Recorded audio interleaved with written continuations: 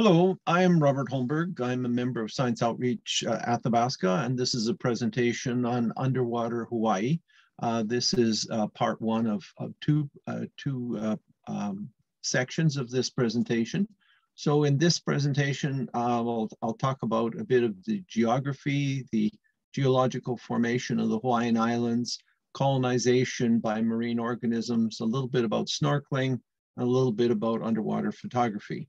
In this uh, second uh, part of this presentation, I'll deal with underwater life of uh, four of the main islands and also what I did not cover.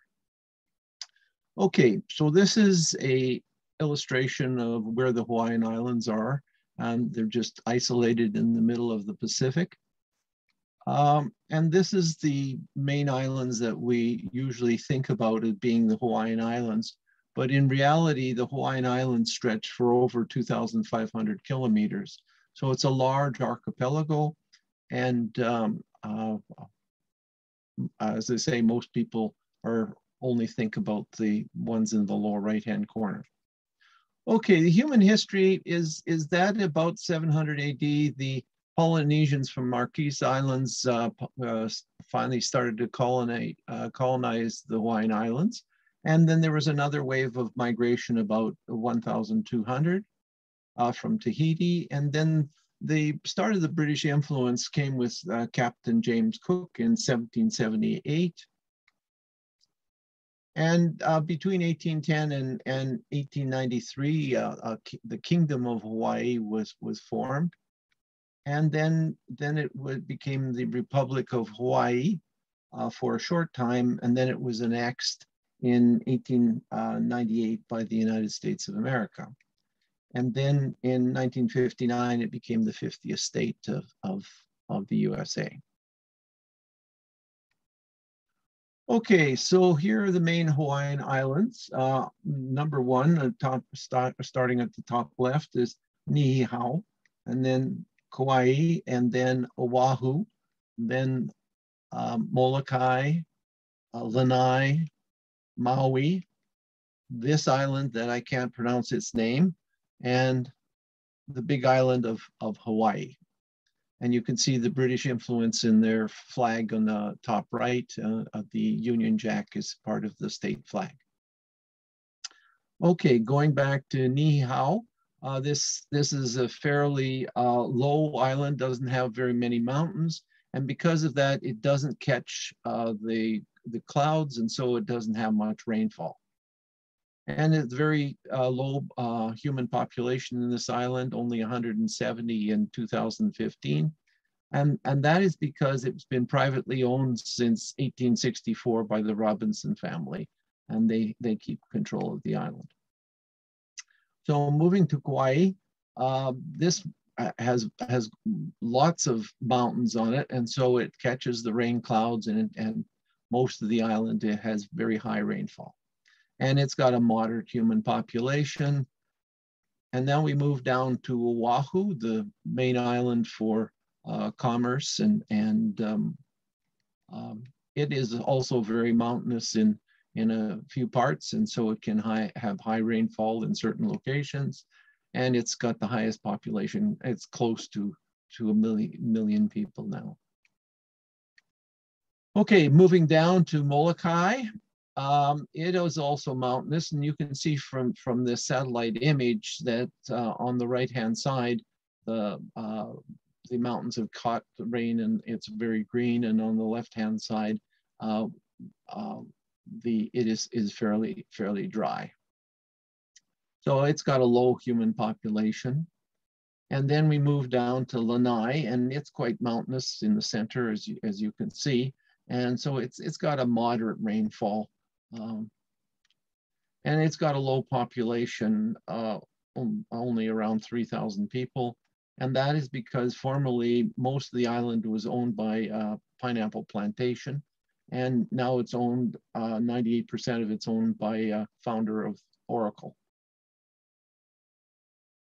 Okay, so we've looked at Lanai, now we look at Maui. You can see it's uh, basically two islands that are, are joined, joined together. and it's it's mountainous as well. So it's got high rainfall in the east and, and lower rainfall in, in the west. And it's got the um, say, a third highest human population in the islands. And then we're dealing down to this island that I can't pronounce. And um, it's it doesn't have very high uh, uh, mountains, and so it gets very little rainfall. There are no humans living on the island because it was used as a bombing range in World War II and still has what they call unexploded ordnance. Okay, here's the big island. You can see that it's it's got uh, uh, high mountains in various places, and so um, in various places it's got a lot of rain. And it's got the second highest uh, human population in the Hawaiian Islands. But going back to the archipelago, um, you, can, you can see that it, it, it really stretches over a large uh, part of the Pacific Ocean. So these Northwest Hawaiian Islands are two thirds of the entire Hawaiian archipelago. And it, it, there are only 10 small islands plus several atolls with coral, coral features and seamounts. And seamounts are, are uh, volcanic mountains that are not reaching the surface. And they may have um, not reached the surface yet, or um, most of these though are eroded because because they're very old. And most of these uh, this area are, are conservation sites. So if from this uh, map of, of, of the ownership of by the United States of, um, of various parts of the Pacific, you can see with Alaska and the coastal states, it has big chunks of, of claiming to the Pacific Ocean, and then the Hawaiian Islands indicated with the red arrow and other possessions uh, uh, to, to, the, to the west. Now we'll go on to a bit of geology. And if you remember, the Earth is divided into three sort of sections. Uh, the co inner core, which has an inner part and an outer part. And then the big part is the, the mantle and then the thin crust. And the crust is only five to 50 kilometers thick, and that's where all life uh, uh, lives. So the Hawaiian Islands, again indicated by the red arrow, is in the middle of this Pacific plate. And it's, it's the largest plate uh, of, of the crust in the, in the world. And it is uh, st stretching and, uh, in the south and uh, moving towards the northwest. And then it's subducted under, under a plate uh, to, the, to the northwest. But in the middle of, of this plate and other plates, there are these hot spots where uh, lava or mag, uh, magma comes, comes from the mantle and reaches through the crust to the surface. So here's a diagram of the Hawaiian hotspot. And um, you can see that the Pacific plate, the crustal plate is moving uh, to the left in this diagram and the magma and is coming up and um, uh, forms volcanic activity.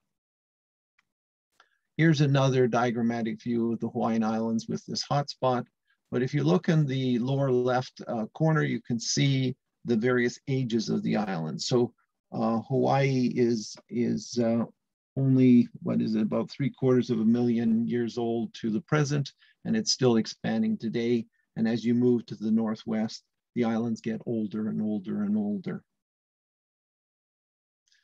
So this is the big island of Hawaii, and this is um, what it looks like above sea level. It's got several, several large uh, mountain volcanoes, and um, um, you can see the elevation changes.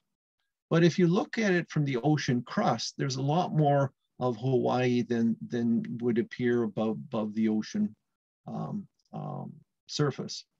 So Mauna Kea is the highest mountain in the world if you go from the crust. So it's over 10,000 um, meters above the oceanic crust, but only uh, a little over 4,000 uh, meters is above sea level. So uh, depending on how you um, rate your mountains, it, it might be the highest in, and beat out Everest. Now, if you look in the lower right, you see another arrow, and this is a new activity of, of a volcano. So this is uh, Loihi, and it is, it is, it is quite active in forming uh, new land. Now, a lot of Hawaiian lava oozes out quite slowly and you can get very, very close to it. And, and, and this is unusual for a lot of uh, uh, volcanic activity, but also sometimes it becomes very explosive and, and dramatic. This is an underwater uh, photograph of a volcanic vent uh, near Samoa, but uh, similar things are happening in Loihi at, at times. But most of the lava coming out is, it, it oozes out slowly at Loihi, and so it forms this pillow lava, um, which are just large extensions that come out molten rock and then uh, solidify quite quickly uh, with the colder ocean water. Now, another activity that happens with vol volcanoes is these hydrothermic uh, vents.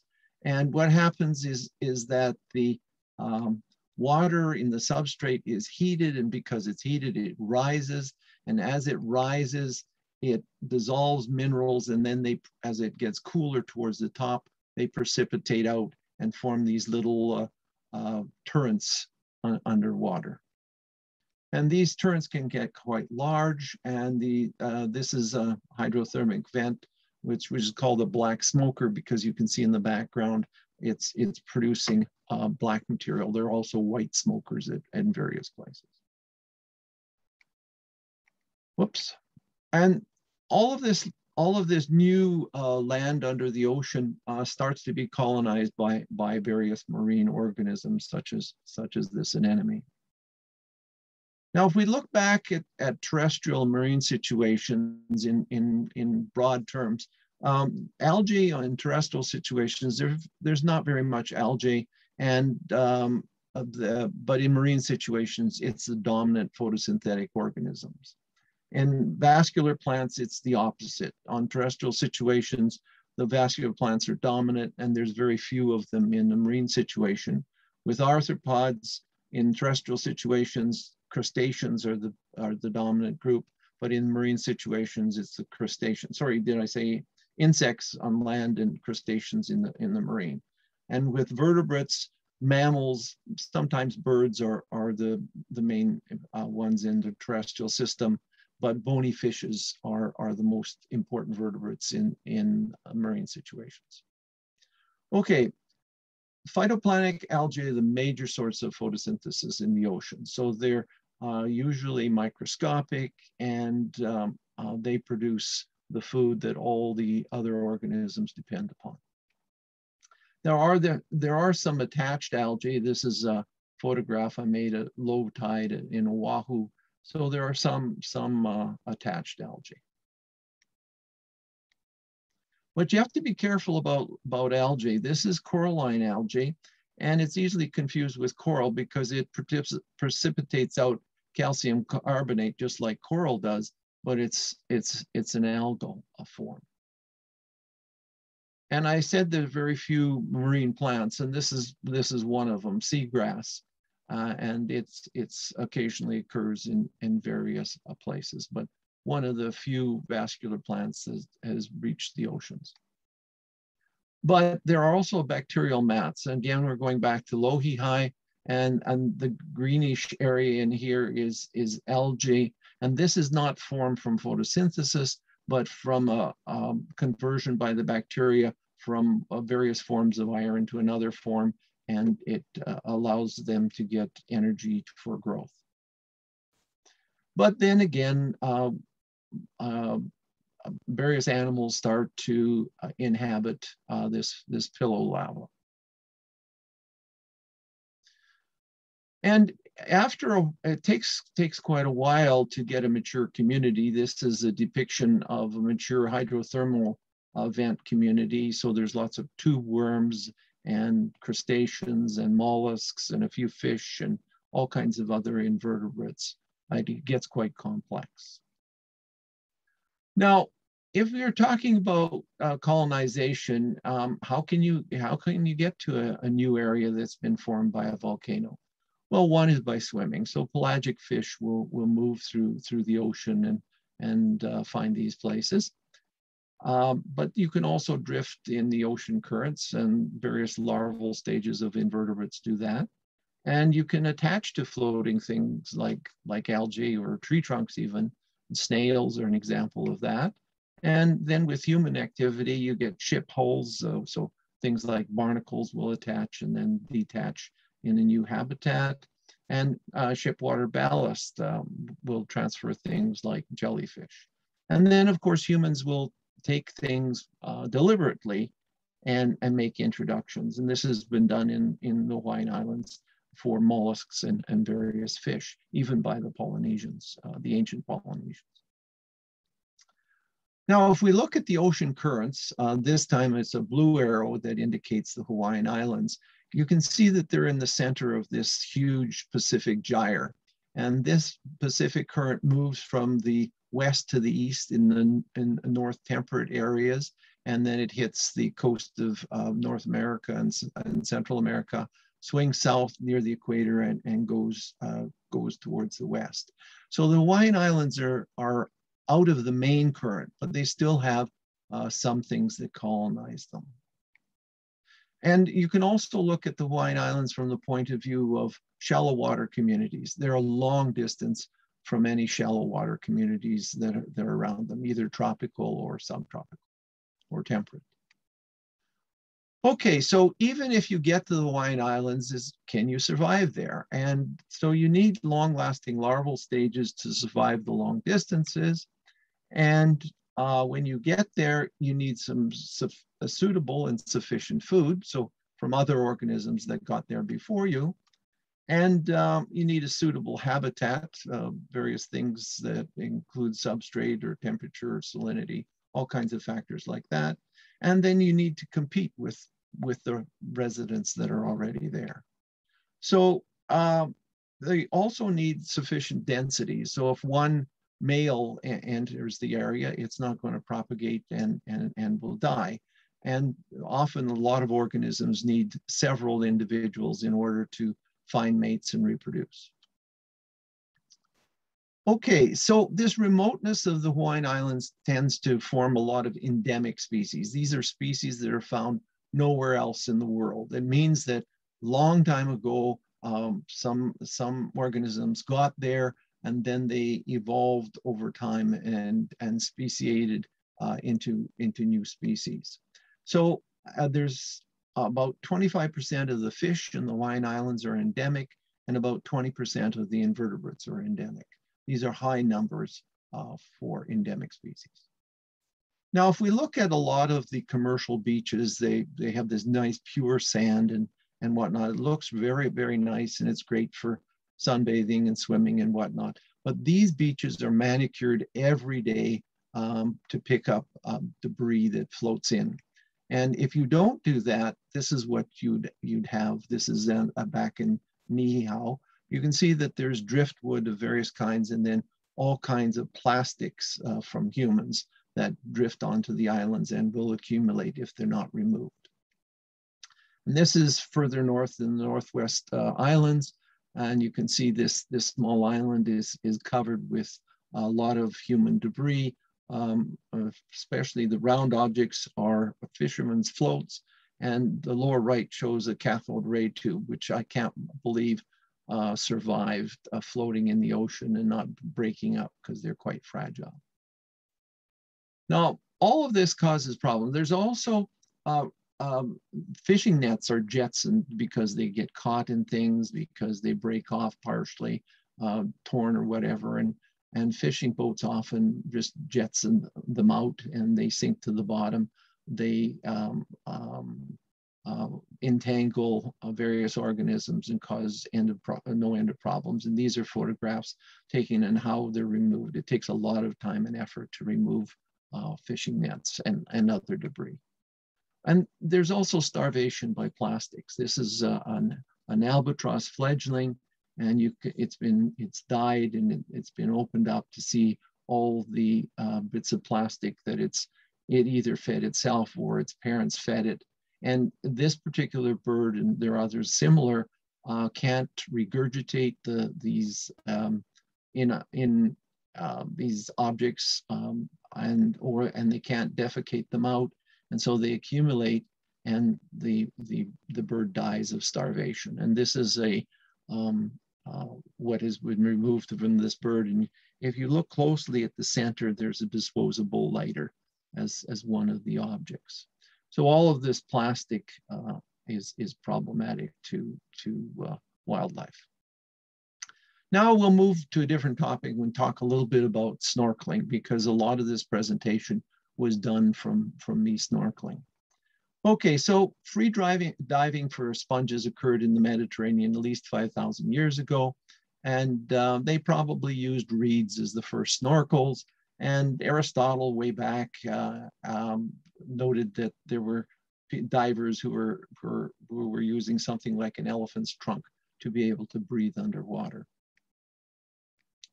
So here's the basic equipment of snorkeling is a snorkel.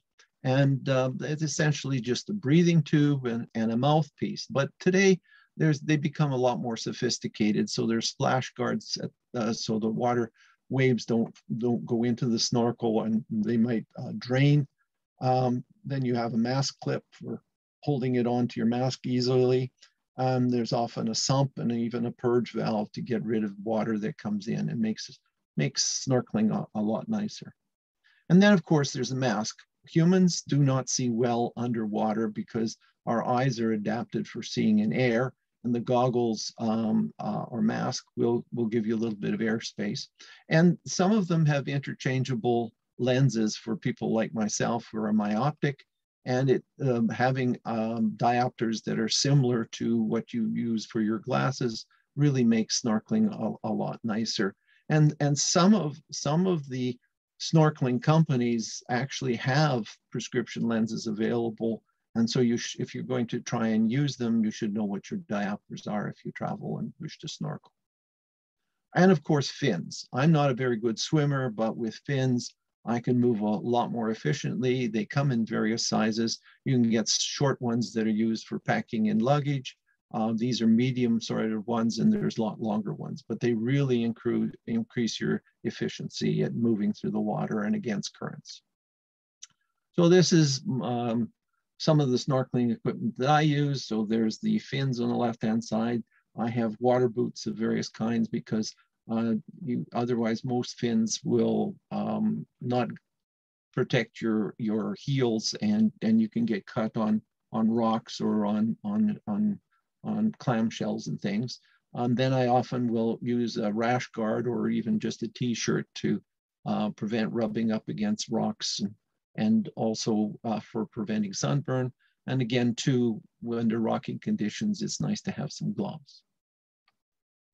Okay, snorkeling safety is one of the things you've got to know your abilities and limitations, and you should stay close to the shore or to the boat um, retain your energy. Uh, various companies, if you snorkel with them, they'll insist on a flotation device and body heat uh, using a, a, wetsuit, which is which is not that that common in Hawaii, but is still occasionally used.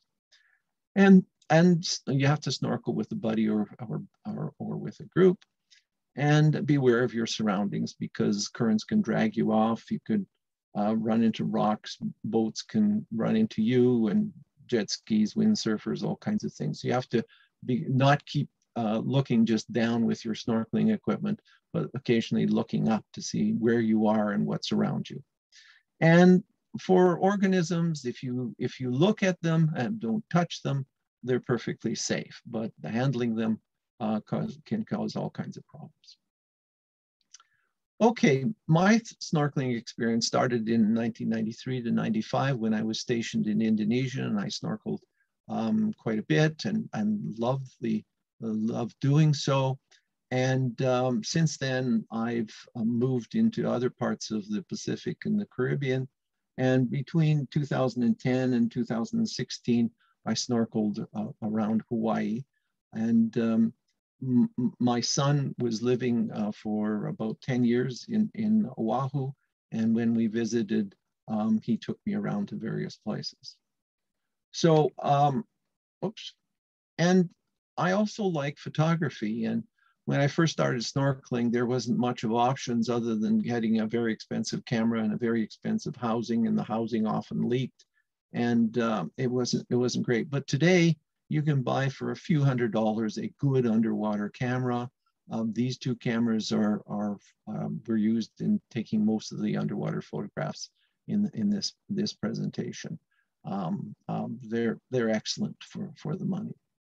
But with photography underwater, it's it's diff it's a little bit difficult because you're usually moving around with the wave uh, action and the subject you're trying to shoot, like this fish, also moves around. So uh, getting um, uh, a clear shot is, is, is often difficult. Also, there's silt. You can uh, stir it up with your, with your fins and also with, with storms. And, um, you know, this is a nice photograph, except it's all cloudy with silt. And then using your mask and, and, the, and a viewfinder, you often have difficulty in, in framing your, your subject and you often get it cut off like, like this, this turtle. And also deep water means that there's less light. And when there's less light, most photographic equipment uh, doesn't work very well because you get uh, a lot of graininess. And flash doesn't usually help too much because uh, if there's debris in the water of various kinds, it'll reflect back um, and, and not make a good photograph.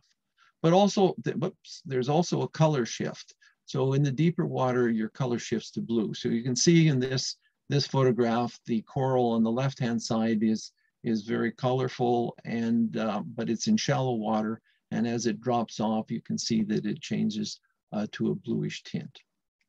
So that's the end of this, this section. We've talked about geology, geography, uh, colonization, a little bit about snorkeling and underwater photography. The next part, we'll talk about underwater life of, of four of the main islands and a little bit of what I, I didn't cover in this presentation.